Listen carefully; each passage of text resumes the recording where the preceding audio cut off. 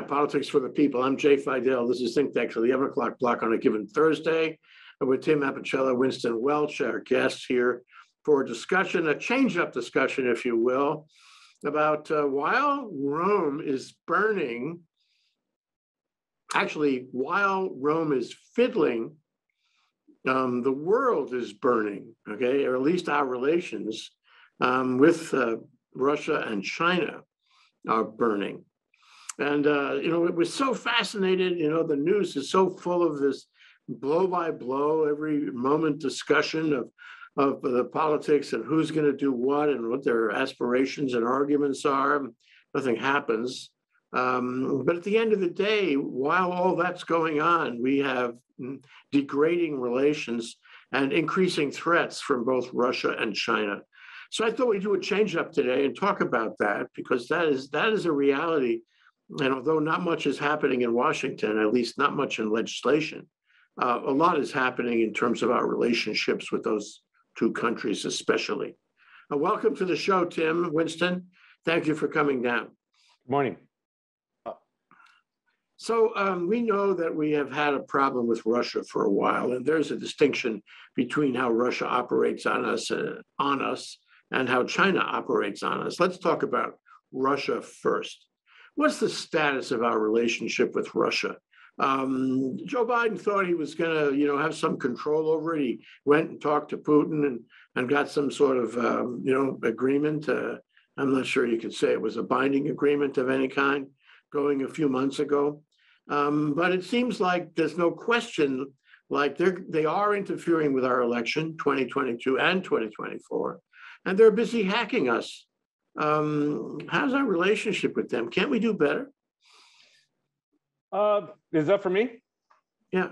Okay. Yeah, we could do better, but um, I think we've made remarkable progress since the Trump administration. Anything went with Russia uh, when Trump was president, and I think we've set the tone back to where it, it needs to be set, and that is, you know, firm but fair. Uh, I wish we were a little bit more firm, in our our, our interaction with Russia. You know, Joe Biden went over there, yeah, and and and it's talked about um, no tolerance for hacking, but yet it continues, and uh, it's a carte blanche uh, invitation for hackers to do so. And Putin says, "I have no control over them," but we know that's not true. He, of course, he has control over it. He has control over everything that goes on uh, with uh, cyber crimes, and it all leads back to the Kremlin. And so we're doing good, but we could do a lot better. So, Winston, what damage is happening by virtue of uh, Vladimir Putin's efforts against the United States? It, it, it doesn't stop at hacking. Um, he's he's doing everything he can to uh, foment division and unrest um, using social media.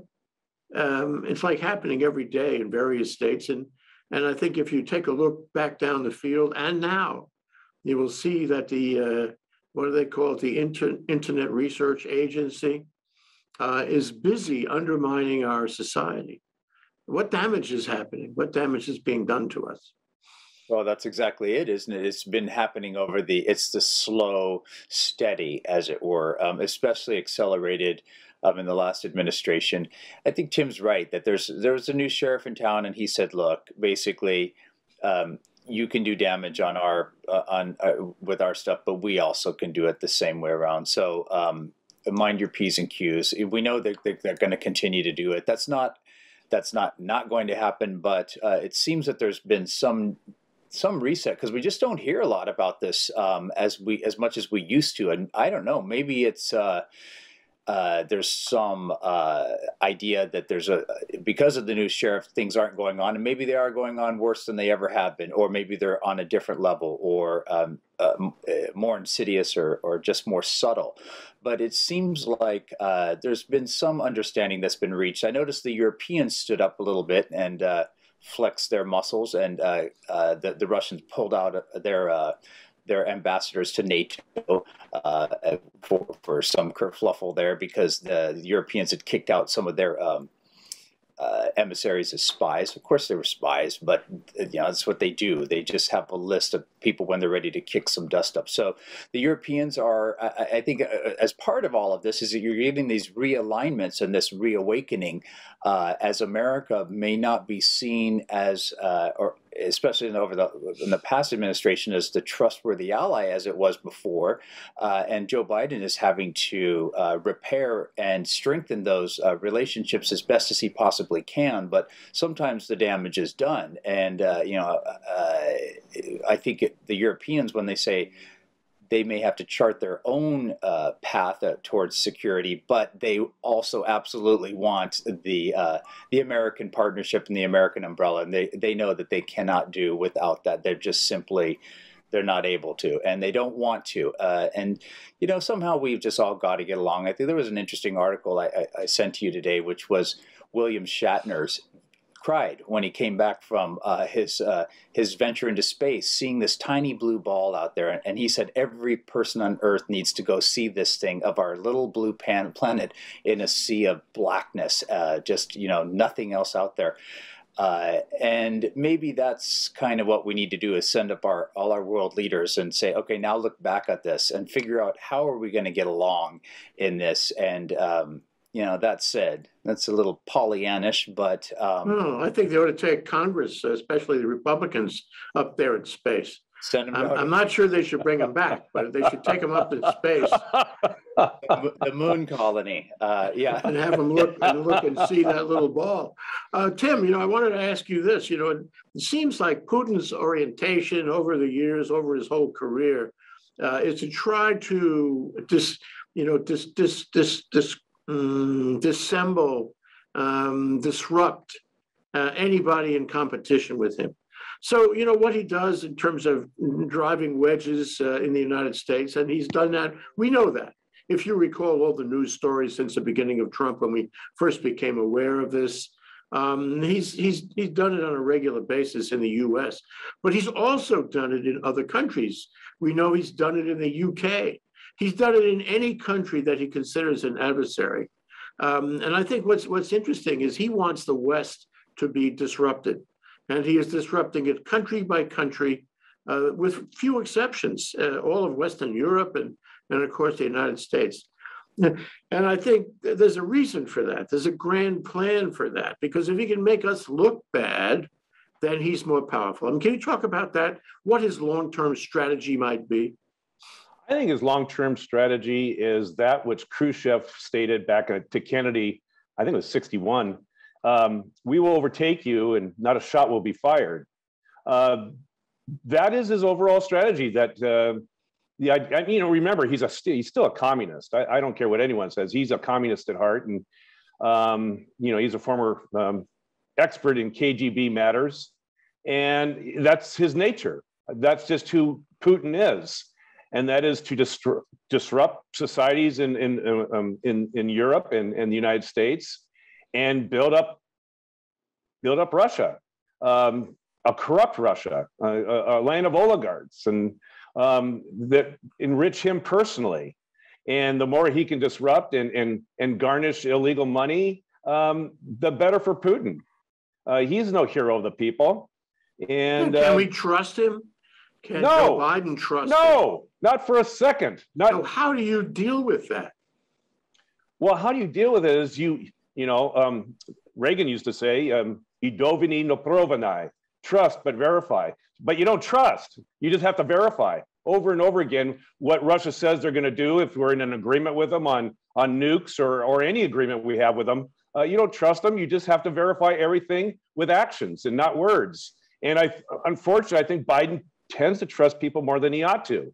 Um, but I think he's on to Putin, and I think um, he's not naive with with the the nature of Putin and his KGB ways, and um, that's why I, I, have I have hope that we will be a stronger uh, nation and not as permissive. The last five years has been a disaster, and you know it's it's Putin's dream come true that Trump was president of the United States, and look to the brink that Russia has influenced us in the elections and it couldn't have gotten any better for Putin that we're in a cold civil war right now. I mean, he's laughing every day as he's eating his caviar. And um, what can I say? He's a happy guy.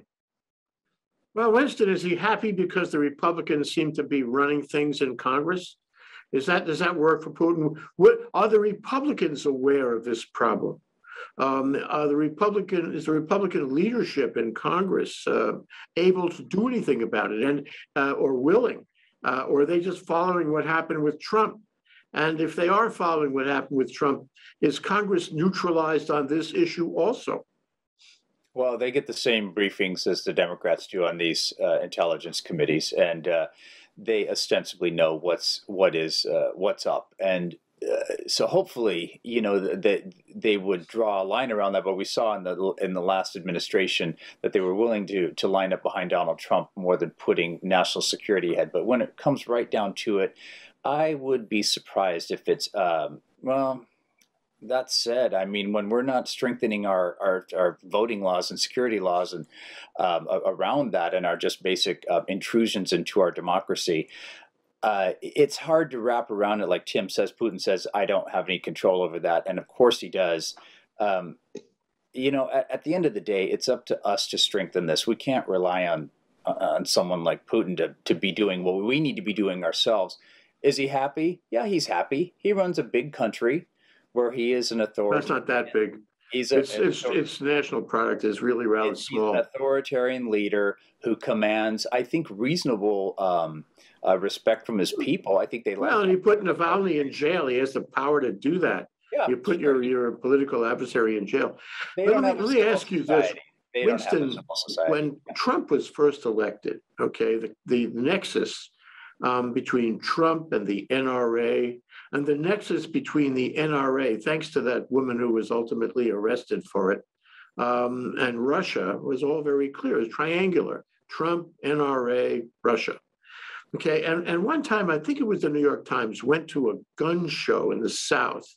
And they went through a gun show with their, you know, cameras and interviewing people, trying to be flat effect about it. And um, the question they put to people at the gun show, the NRA crowd, was, uh, "How do you feel about Russia?" And the answer uniformly, universally, everybody they asked was, you know, the US has been much too hard on Russia. They're really nice people. Uh, we have been, you know, p- politically wrong in our uh, diplomatic relations with Russia. It's time we got friendly with Russia. It's time, you know, it's time we bonded up with Russia and, um, you know, capitulated to some of their demands, what have you. And I thought that was extraordinary because in the past, don't you remember the Republicans were down on Russia big time? Uh, down on Russia because it was the communist pinkos over, over there. Uh, and something switched. Did you follow that? Do you know what I'm talking about? Well consider their news source of most of the folks that are going to those shows. And uh, when it's if it's coming from fox and they have a specific agenda that they want to push uh, and and the republicans have been reasonably absent on that i think that the traditional republican line has been that. It has been strong. It has it may rise again and they may view these sort of external threats as uh, as important as they used to. And and roles are flip flopping now all across the spectrum about what's important and what's not for e- each party. And it's interesting just sort sort of to see where these things are are coming up to lie. But uh, it doesn't it doesn't surprise me now if you look at it from like russia's perspective russia's always been kind of you know they're right next to europe they're part of the, the, the west in a sense uh, you know we we have this these very basic um, ideas of how we should organize our economies the, the peoples are of, of a, a similar um, uh, background, and yet they've kind of always had their own area. They have their own area of influence. They're looking right now. You think about it. They've got uh, NATO basically banging down their door. They have a, a, a natural paranoia that uh, that the West is sort of coming after them, and I I can understand that on some level. So they want to keep us off kilter too. They want to make sure that we don't really know. Are we gonna? Are they gonna invade Ukraine? Are they gonna um, rattle Lithuania or Estonia? They are, are we really a threat to them? Do you really think the U- U.S. is a threat to Russia? I mean, Russia is definitely a threat to us, but are we threatening them in some way? We have we uh, besides the twenty thousand nuclear missiles pointed at them. Uh, not not a huge threat. Um, we, okay. have we have way more in common with with the Russians than we don't, and the same with the Chinese. We have way more in common with everybody on this planet. Uh, we all want uh, decent government. We want good schools. So let want- me, let me go to, let me go to Tim. Tim. Let me just um, let me just jump in on that last point Winston made, and is the greatest threat to Russia is the conversion away from fossil fuels, because that is Russia's one of their big exports, and Yes. that will that threatens Russia. Yeah, sure. And, and they have a, um, a very important relationship with Western Europe on gas. And we have a lot of gas here. I don't mean in Congress, I mean real gas, natural gas, and we are trying to sell it to the world. Trump was doing that, and I think that, you know, the business, the, the industry around energy and gas is, is, wants to do that, wants to sell American gas to the world. So we are competing with them on, on, on energy and fuel that way. Uh, but let me ask you this, though. Uh, Winston said, and I, I take everything Winston says very, very, uh, Very, s- very seriously. We, we haven't heard much, okay, since the early days of the Trump administration about all the, all the things that Russia has been doing. You know, maybe the news has gotten old or other news has supplanted it. Uh, news in Congress, for example, news about the insurrection, those kinds of things. Okay, but the, but the fact is, just a few days ago, the FBI raided um, the, this um, the, the two uh, magnificent properties, uh, one in uh, let's see, one in Washington and one in New York, was it? Um, uh, that were owned by this uh, big shot Russian guy, and, and they didn't say you know what they were raiding it for, but they took out a lot of data. And that suggests that the FBI is now again busy. They have, um, you know, indicted and they have caused caused the, um, you know, exclusion of various people charged with uh, espionage and im- improper conduct, diplomatic conduct in the U.S. But this this seems somehow different. This seems to be leading to somewhere. Where do you, I, I know we're speculating here. Well, I, I what I remember of this article or this this news flash was um, this is the oligarch that was tied in with. Um, remember, the Trump administration had passed uh, election data, uh, research data to um, to a Russian. That's the Russian's house that they they uh, they they invaded. They had a warrant for and, and searched and got more data. So maybe it ties all back to that. Um, maybe they're going back to uh, Back to the Future and uh, seeing if there was a, there was an administration tie-in uh, back in 2016. Who knows? Yeah, know. but that sounds like a pretty, pretty good guess. But what it suggests is, I mean, if you accept that, and Winston, I accept everything Tim has to offer. Oh, yeah. uh, sure you do. Sure you do. Um, If you accept that, then you, you have to come to the, the conclusion that the FBI believes that Russia is busy, busy, busy, with or without Zuckerberg, um, in terms of uh, dividing the country on voting, dividing the country in general. Um, And somehow this, uh, this, this big shot Russian guy has something to do with that. Um, We're not out of the woods on that, are we? No, it's Um, spy versus spy. I mean, it's it's the Cold War that never really thawed. It's I'm sorry, but we're still in a Cold War with Russia, whether we like to admit it or not. We just don't have arms races and and you know spies being Ah, well. We, But but Winston will tell you, we do have arms races. Um, you know, non-proliferation agreements seem to be torn up these days. We're in an arms race, aren't we, Winston? uh, uh, w- we never stop being in one. Uh, every Yeah. country wants to have um, military superiority, intelligence superiority.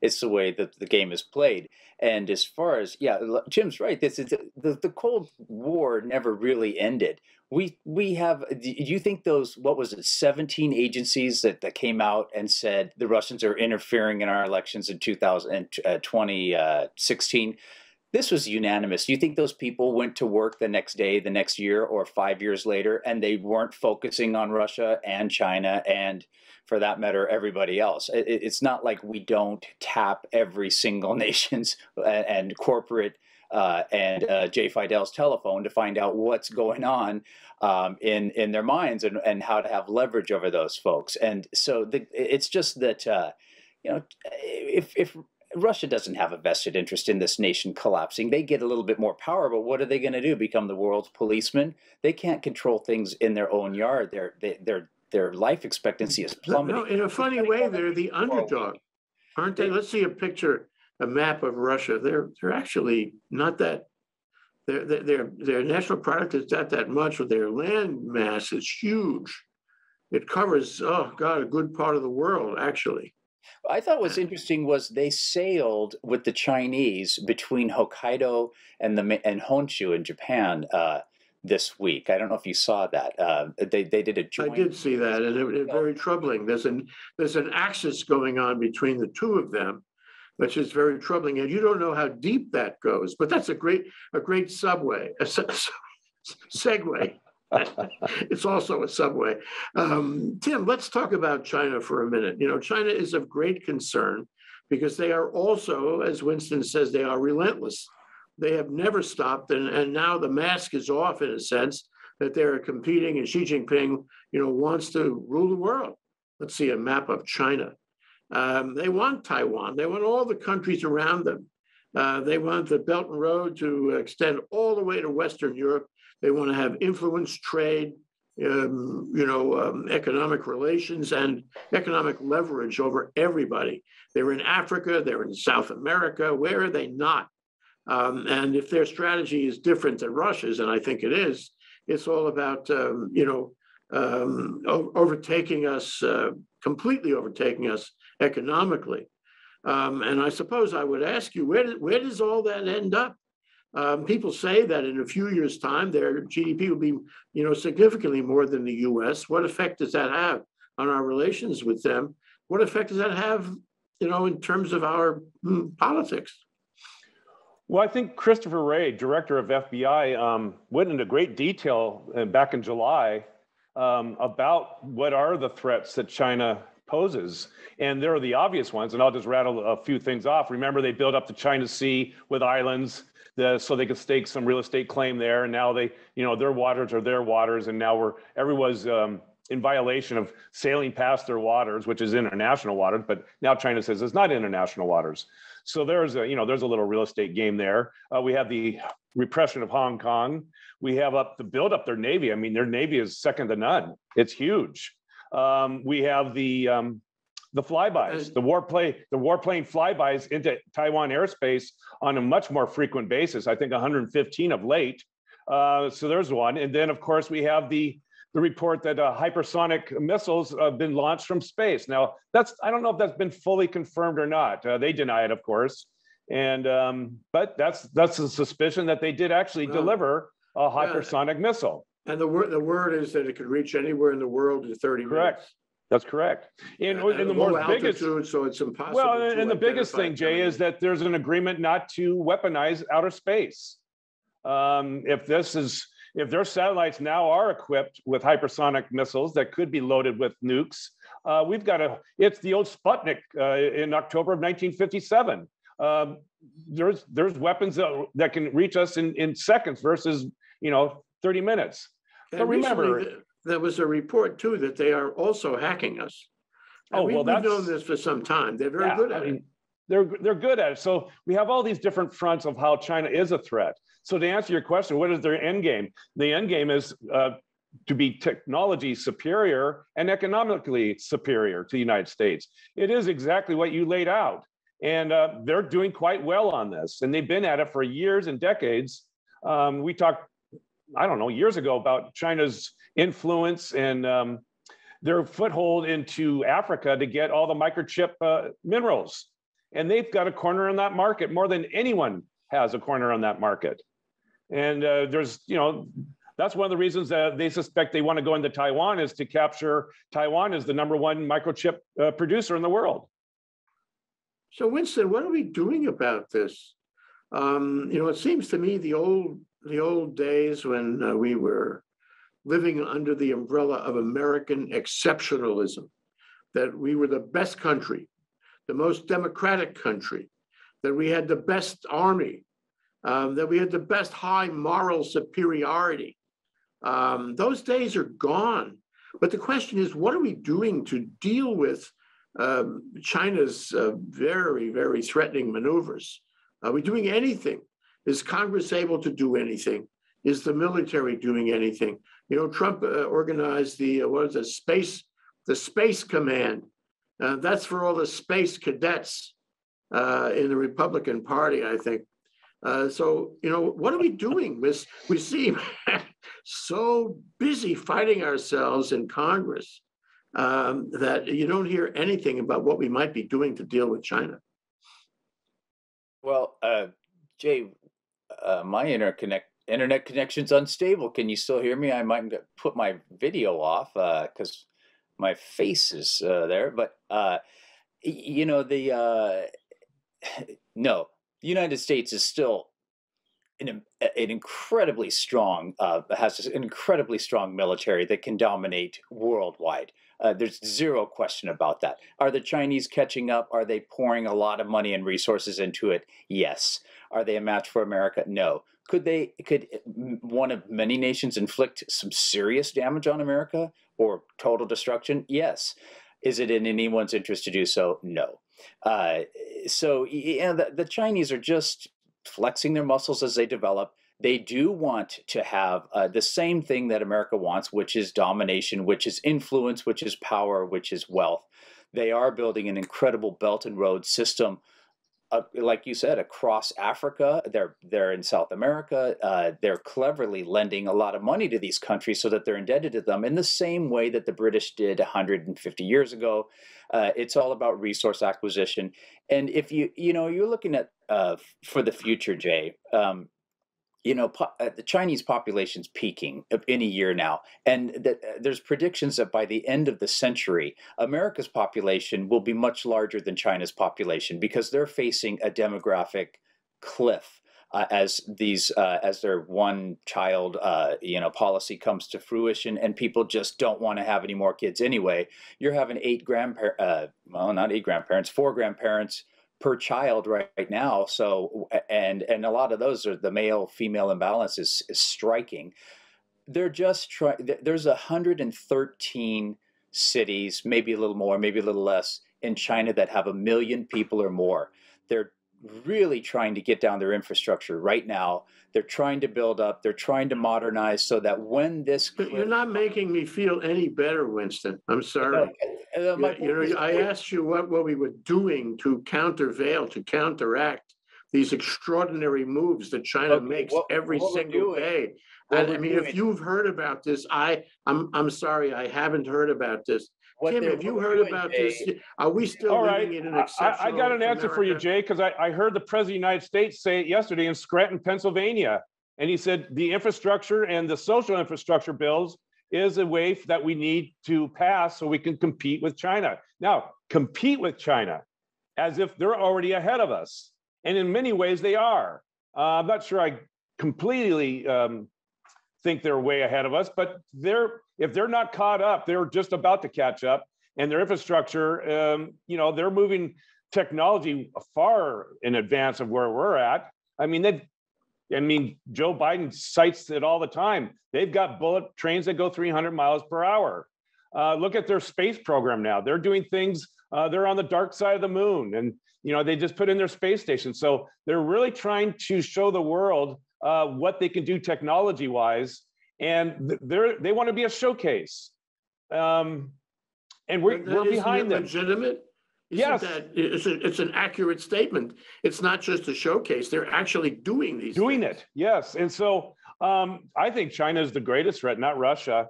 And I think, you know, here's, but here's the, the, the positive thing, and that is we still have a very good trading relationship with China. And, and the more you trade with someone, the less likely you're going to see a military conflict. You tend not to go to war with your trading partners. And and I know we have a lot of tariffs in place. I'd like to see that settled out. I'd like to see those tariffs unwound and have a better trade um, balance with China and, and reduce the tensions. If you remember, the tensions started to increase the second Donald Trump got into office. Now, Donald Trump did have to do some things and, and lay a firm line down, and I respect that, and I agreed with some of his positions. But at the expense of a pretty tense relationship with China is now in place, and that needs to be settled down a little bit um, and we need to balance the, the trade balance uh, playing field um, so that you know partners benefit each other. And I think that's the hope for me is that we we improve on the trade balance system. Are we doing that, Winston? Uh, are we actually improving our relations with China? That tension that Tim talked about uh, seems to me that still exists. It seems to me that tariffs are still in place. Joe Biden has not taken them off. He could, he hasn't. Uh, it seems to me that the, the rhetoric is uh, pretty stressed on both sides. And it seems to me that we're not taking affirmative action to improve our relationships with them. And part of the reason is that they're not on our list of priorities. Our list of priorities has to do with all these internal domestic dispute things um, and not national international relations. So my question is, uh, what what is Biden actually doing aside from aspirational statements he makes in Scranton? Um, and uh, what can he do to actually get balanced with China, if anything? You know this uh, this uh, supply chain choking that we're having right now. Where do you think all those ships off of LA waiting to be unloaded are from? We can't buy the stuff fast enough. We can't even we can't uh, we can't buy it fast enough. We can't even unload it fast enough from China sending back empty freighters. We need to produce something that the Chinese want to buy um, uh, first of all, but you know, the reality is Jay, you've got 350, 400,000 Chinese students studying right now in America. It's not the opposite. They're coming here to learn from the teacher in this case. This is where they're coming to learn how to be uh, whether it's making something better or better engineers or better uh, a freer society, they're exposed to all of the ideas that we have here. And in time, those seeds are going back. They're being planted right now. And they may have to bide their time right now. But eventually, people will say, you know what? I liked it when I was in Dubuque, going to uh, Dubuque Community College, because we had our clubs for this and that and the other. And eventually, it'll bleed through. China has its own uh, areas of influence. It has for centuries, uh, millennia. Uh, I don't think they want to be the world's policeman any more than the Russians do. Uh, this is sort of a, a, task that falls on America, which is reluctant to enforce it at this point. And uh, you're seeing some fallout of that. Eventually, uh, you know, we're sort of becoming chimerica on some level because our economies are becoming so intertwined. You can't you could pull out all the things from China that we make there, but there would be a, a world of pain over here. And I think over there as well. Like Tim said, good trading partners don't go to war. It's just making sure that we're good trading partners. Well, you'll have to admit there's been more talk about war, more written about war with China now than be, before, before Trump and even during early Trump. But my final question, and for your final comments, though, here at the end of the show, Winston, um, is uh, how concerned uh, should we be that uh, Congress is not addressing this? Uh, that that Joe Biden is really not taking affirmative steps to deal with it.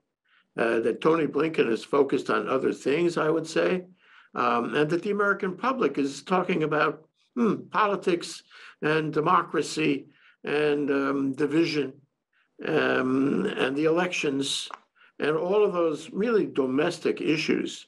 Uh, how concerned should we be that while um, we are mm, fiddling, our domestic relations and our relative position in the world is declining. You know, I mean, Jay, that the uh, we are still the indispensable nation. I'm sorry to break it to you. It uh, we we still are. We have a lot on our plate. Joe Biden has so much to tackle, even if he didn't have the last four years to work on. Just okay. Let me let me put it another way. Then we're we're in in the in great risk of losing uh, the right to vote. We're in great risk of, of having Congress become completely dysfunctional, unable to do anything. Okay, um, doesn't that ultimately affect our ability to contend with both Russia and China? We got a lot in our own house to clean up before we look abroad, but we can't. Doesn't that ultimately affect our ability to deal with Russia and China?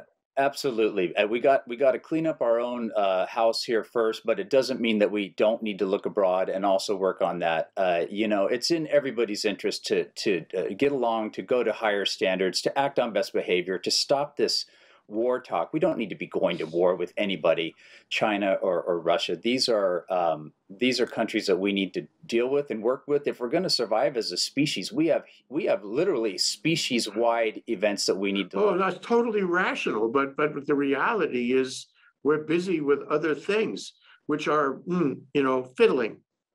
Yes, it, we and we are fiddling, and so we gotta we gotta pay attention to that.